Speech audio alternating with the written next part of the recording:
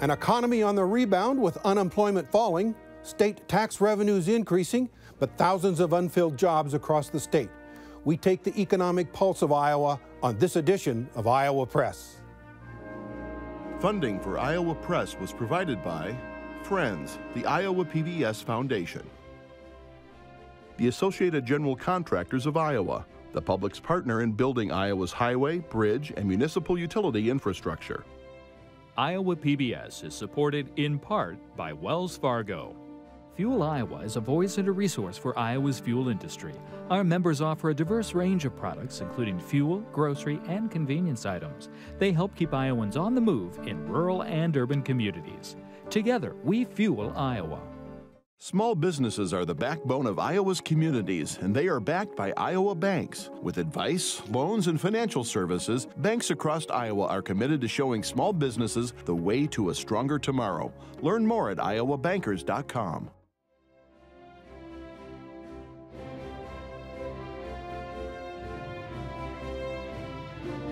For decades, Iowa Press has brought you politicians and newsmakers from across Iowa and beyond celebrating nearly 50 years of broadcast excellence on statewide Iowa PBS.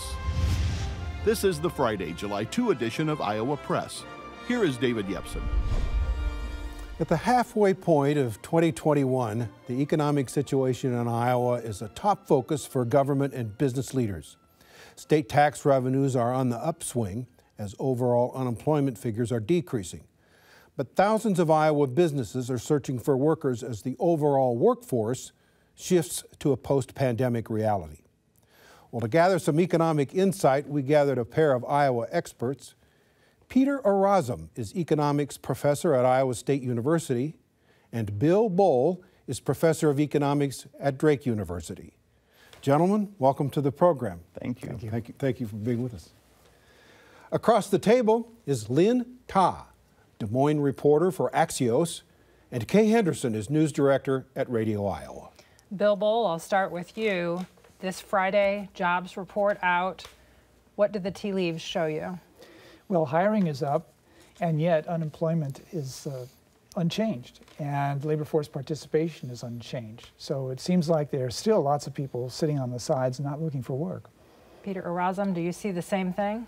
Well, what's interesting is that people are going from out of the labor force directly into employment as opposed to having to search for jobs. And so it looks like you have a relatively large number of people who are considered out of the labor force, but still, according to the Bureau of Labor Statistics, want a job. Uh, what's different is they're not actively searching for jobs, but when they start searching, they're able to find them very quickly. Um, Peter Orazem, in regards to the state policy that changed um, about um, a month ago, nearly a month ago, the governor said we're going to get rid of this federal addendum, the extra $300 that unemployed Iowans were getting. Do we yet know what impact that has had since it went away? We know that the, this is the largest increase, monthly increase in employment that we've had in many, many. In uh, Iowa? No, we don't know in Iowa yet. The Iowa numbers are going to come out in mid July. Mm-hmm.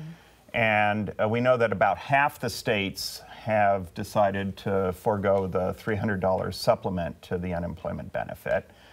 Uh, one assumes that that would uh, increase incentives to, to take jobs it's consistent with a sudden surge in, in, in employment growth nationally, but we don't know where that growth is geographically yet. We'll know in two weeks. Bill Boal, do you have that assumption?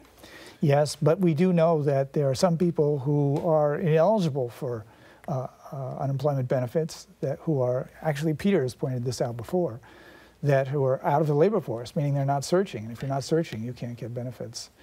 So there's a lot of those people too. Bill Boal, we started 2020 with strong participation rate here in Iowa, but over the pandemic, we saw an abnormally high amount of people exit the workforce. Who are they and where are they?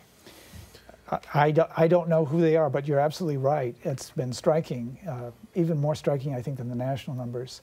There's been a big increase and it hasn't really changed. There are still a lot of people uh, out of the labor force who were in the labor force a year ago. Yeah. And Peter Orazem, your thoughts? Well, it, you would think maybe it's related to the fact that we're a relatively low wage state, and so a $300 supplement to the unemployment benefit will go farther in Iowa than it would in New York City. But South Dakota has not experienced the same shortfall in labor force participation Nebraska has. And so you get these really strange patterns state by state in terms of the drop off of labor force participation. Iowa is relatively unusual in how large the reduction in labor force participation was, given the relatively smaller employment loss uh, in Iowa. Uh, and kind of considering that, I mean, do you think that Iowa is an attractive place for for young people to come here and work here and live here? We'll start with you, Bill Boal.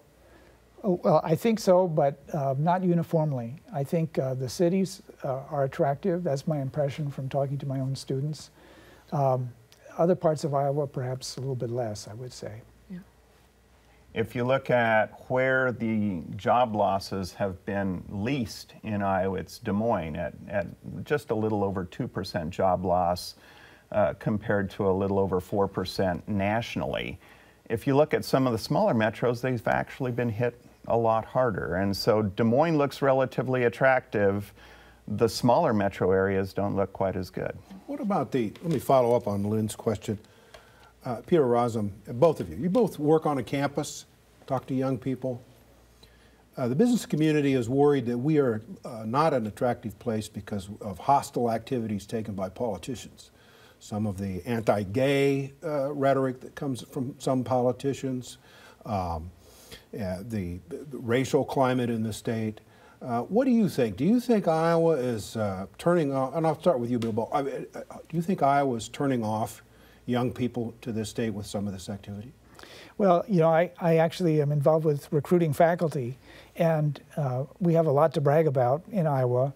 But that is a, a concern. Uh, faculty members, my colleagues who are minority, even who are Jews, have told me that there are parts of Iowa where they've encountered hostile comments. And that is, uh, that, that's a, a negative. Peter? Well, there, the things that make us attractive are relatively low costs of housing and relatively low cost of living um, pay isn't as strong in Iowa as it is elsewhere, and we don't have the very large metro areas that, that a lot of young people find uh, more attractive. Uh, I'm not sure that it's, it's very easy to know how um, uh, the, the politics of Iowa matters for, for people who are looking for work. I mean, we've had uh, trouble uh, keeping young people in Iowa long before we had problems with, uh, with uh, a more polarized uh, political climate. And you find polarized political climates pretty much everywhere in the United States. And so I think there's a lot of reasons why we would like to, to return to a more uh, uh, civilized discourse uh, in, in, in, politics, but I don't think that, that it's going to change the incentives for a young person to stay in Iowa. Bill Boal, also news this week that the state of Iowa ended the fiscal year with about half a billion dollars of surplus. Um, Governor Reynolds, in the middle of June, as she was signing a bill that cut a variety of taxes, said she'll be back next year asking for additional cuts in Iowa's personal income tax. How would that impact the state's economy? Well, uh, it's, it's surprising actually that uh, state and local governments throughout the pandemic, their revenues have held up pretty well, more than I would have expected, except for the second quarter of last year, you know, when the pandemic was in its worst. Um, so uh, I would guess that a, a, change in the income tax rate will not have a huge effect, but um, it is heartening to know that, uh, that there's plenty of money. So if Iowa got rid of the personal income tax, which is something that's a goal of uh, some Republican uh, legislators, how would that impact the labor market? Would it impact population shifts? Uh, it might attract a few people uh, who would like to be in a state where they wasn't taxed, but of course they'd probably have to raise the sales tax a little bit. So well, Peter Orazem, how, how much would you have to raise the sales tax if you get rid of the income tax? Well, you'd have to raise it substantially. Uh, my own experience is that the, the uh, doing work on firm entry in Iowa compared to other places is the property tax rates are, are, are much more serious. I mean, if you're starting up a business, you may not have any income and you may not have any sales, but you're going to have property and you have to pay that tax right up front. So putting more burden on the least competitive tax structures in Iowa, I don't think the income tax is particularly unattractive in Iowa, is probably counterproductive. So, so you think it would be better, excuse me, Ken, you think it would be better to focus on lowering property taxes than going to a, an 11 or 12 percent sales tax? I think an, uh, uh, an increased sales tax that would place less burden on property taxes would make a lot of sense.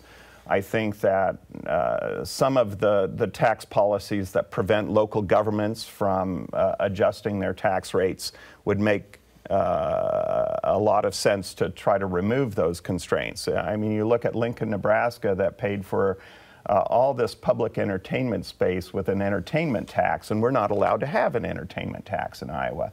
I think that we've sort of made way too many restrictions on how local governments fund themselves and put too much burden then on the state support for those uh, local efforts. And, and, that's one of the reasons why we have a relatively um, uh, uncompetitive tax structure overall.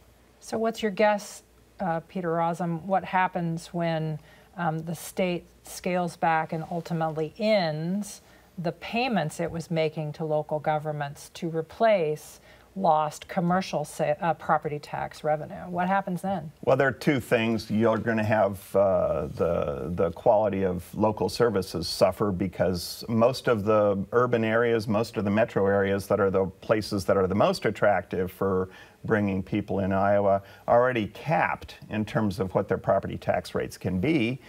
And so you're going to have uh, a reduction in the quality of those services. The places that can still raise tax rates are obviously going to likely uh, have to put more pressure on, on property taxes. And as I said, if you compare Iowa to its neighbors, it's our property tax rates that are the most destructive in terms of, say, looking at which side of a border uh, new firms enter. And in addition to being an economist, you spent, what, 10 years as a member of the Ames City Council? Oh, eight years, but uh, it seemed like 10. um, Bill Boal, we'll move to you. Uh, more public and private agencies are investing in cybersecurity insurance, uh, but we're also seeing a high rise in these rates, some of them by 50 percent you know, what does this mean just for the everyday consumer when we're dealing with these higher prices uh, for these very 2021 issues? Oh, that's higher costs, and that's going to get passed through into prices for sure. Yeah, there's no no getting around that. Yeah, especially for municipalities um, that are investing in these insurance, uh, these different insurances, and are having to deal with these higher rates. Um, you know, what do you think that may mean for residents? Well, uh, I mean that's uh, something has got to give. So fewer services or more fees or taxes and things like that. Yeah.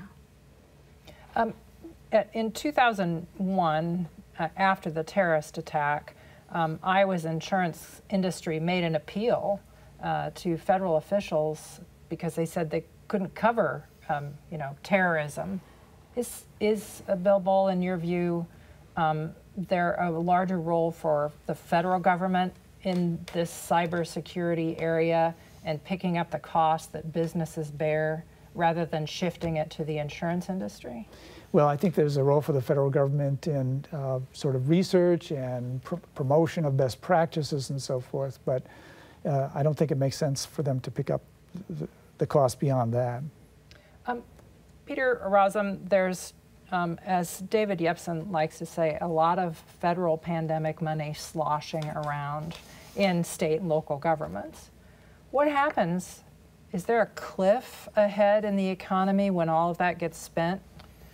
Well, what's interesting is that, uh, for example, look at sort of relatively massive uh, income transfer payments that occurred over the last uh, 16 months.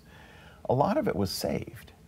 And, and if people can't figure out what to do with that money, they sat on it. Now, you're going to see some of that re entering the labor market, but I think that what's, what's actually happened is a lot of this money hasn't really been spent. It's sort of sitting on the sidelines. what you hope is that it's not going to all enter the, the, the marketplace at once, and you're going to get this very large surge in, in, in customer demand or consumer demand because that's going to have upward pressure on prices. Uh, I think that actually uh, people use that those resources to, to basically uh, insure themselves against potential future shocks, and, and a lot less of it actually ended up in the, in the marketplace. So, Bill Boal, what's the answer here for um, someone who is an individual, got the stimulus check? I mean, Americans usually spend stuff. We're a consumption society. Um, have we gotten to sort of a demarcation point where we may start saving more? Well, I think there's a big split. I mean, some people lost their jobs in the pandemic, and so they spent the money pretty quickly. But the people who didn't lose their jobs um, didn't have opportunities for travel and things like that, so they saved it. Now we're seeing some of this money flow into the real estate market where prices nationally are going up at around uh, 12, 13, 14 percent a year, although in Iowa it's only, I think, about six or something like that. So that's, that's one place the money is going, I think. So, Bill Boal, as a, an economist, when you look at the pandemic, what is the thing that you want to research the most?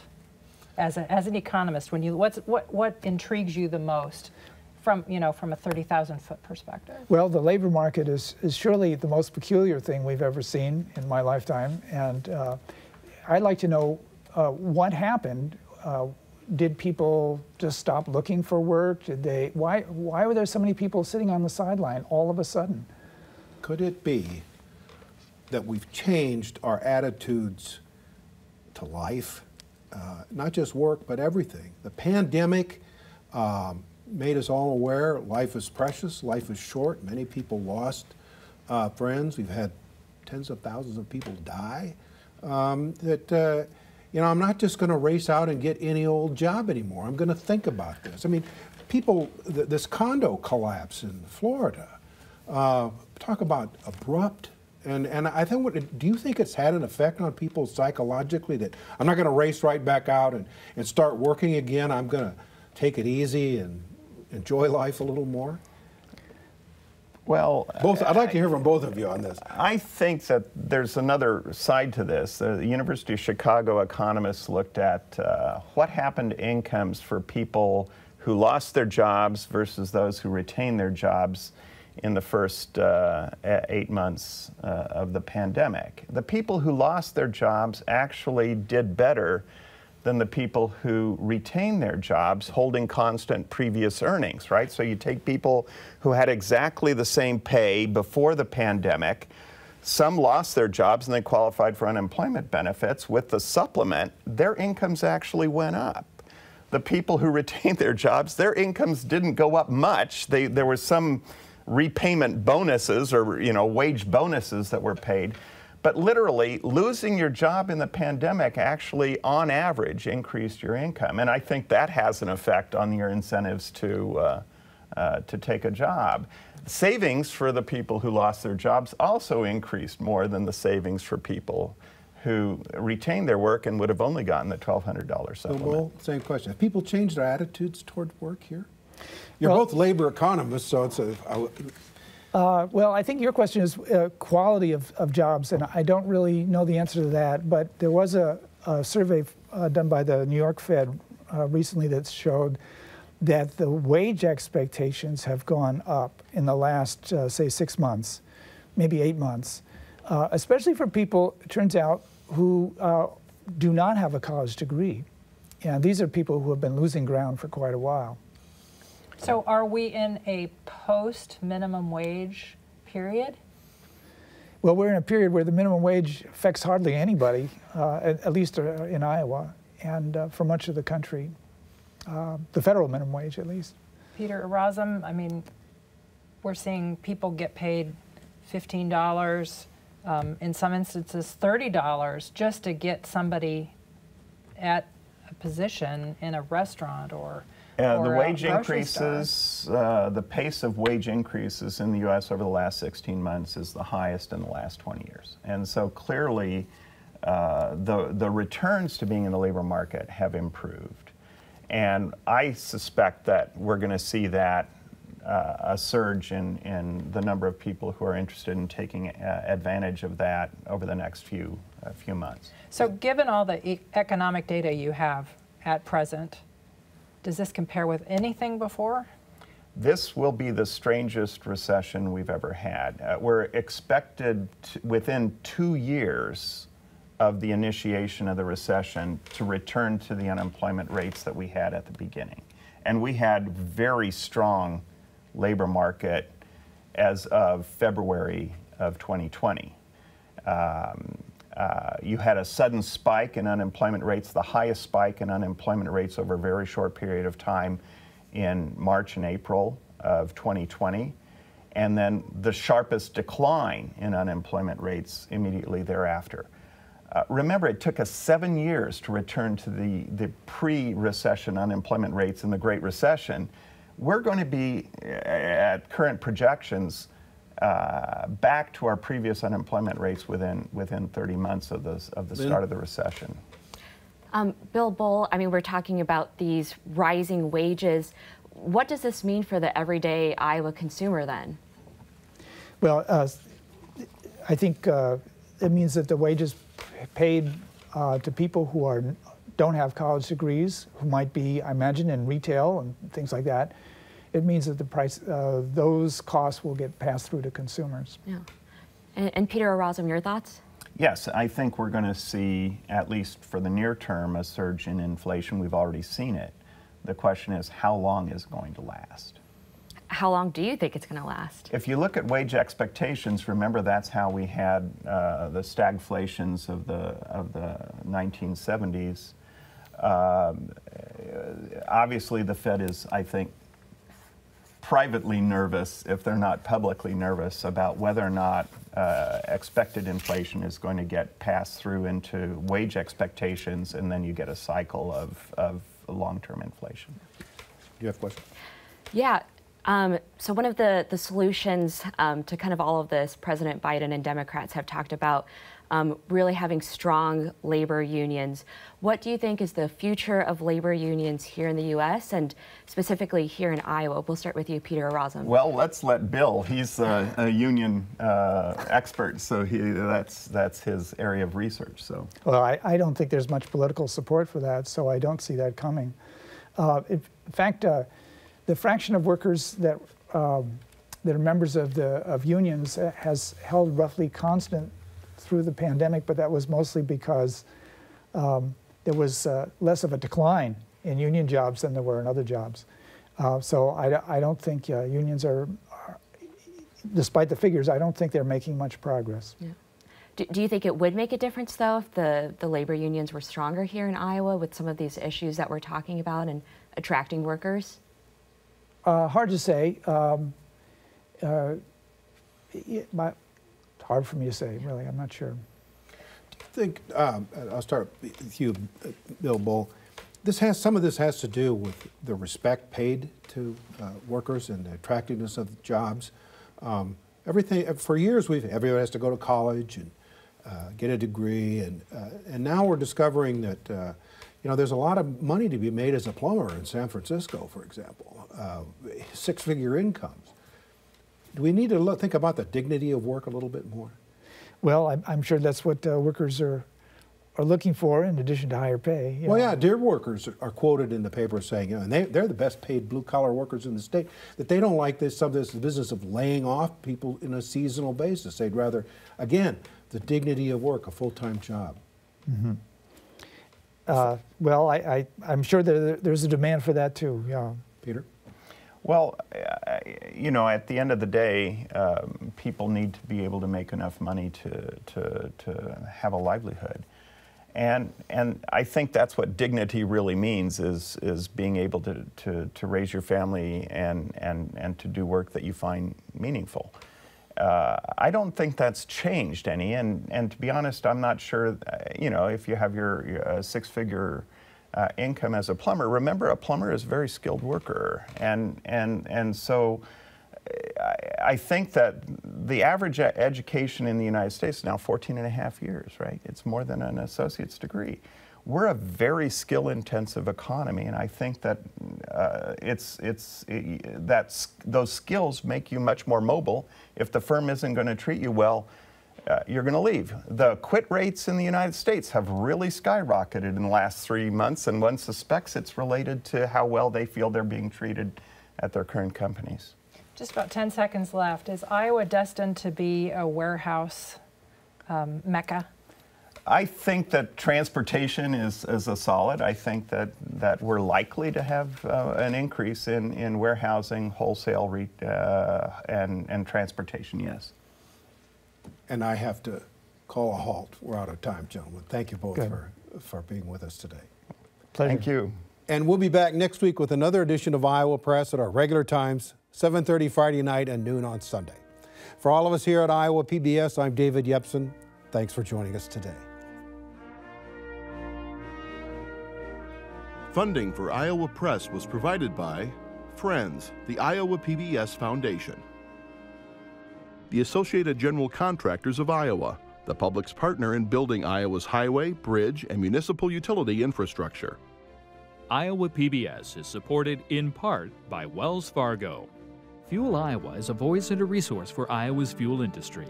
Our members offer a diverse range of products, including fuel, grocery, and convenience items. They help keep Iowans on the move in rural and urban communities.